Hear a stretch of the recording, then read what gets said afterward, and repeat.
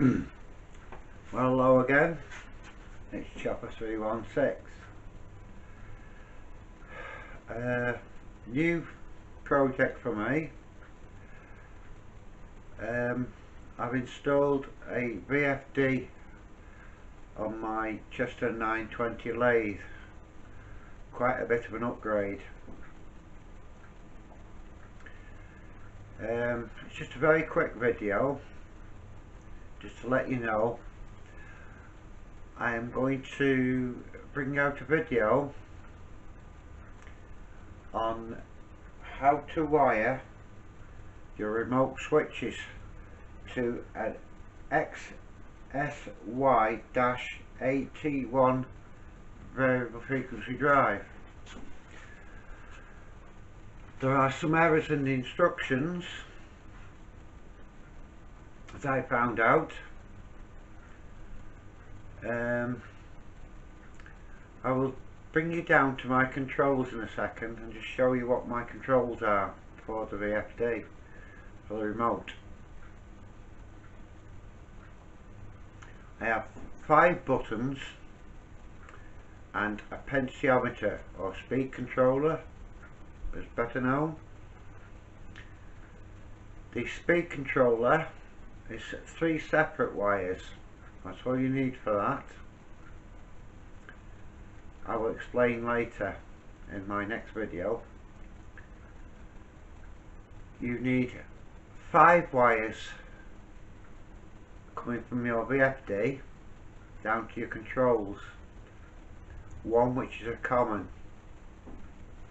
As I will try and explain in my next video I'll try to do some sort of a diagram explain it to you as best I can to my knowledge. It took me a number of hours to sort it all out.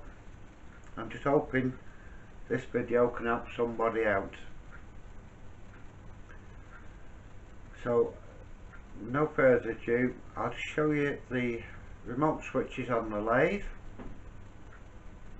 It's made an absolute massive difference to the lathe um, it's so much better to use. It's just it, I just can't describe it really. Words don't describe it. It's made it a complete pleasure to use. So we'll get on to the remote switches and I'll just show you. Just give me a moment. Let me see where they are. To swing round Okay, I'm swinging you around a little bit to my lathe. Bring you down a little bit. You see the VFD in the corner there, yep. Okay, I'll zoom you in a little bit. Try. bring you down a little bit further. Try and zoom in. And I'll explain which the what the buttons that do okay. Zoom that should do about there. Okay.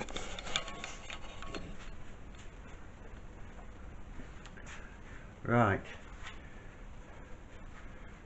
The five main buttons. Is stop. Run forward. Run reverse jog forward,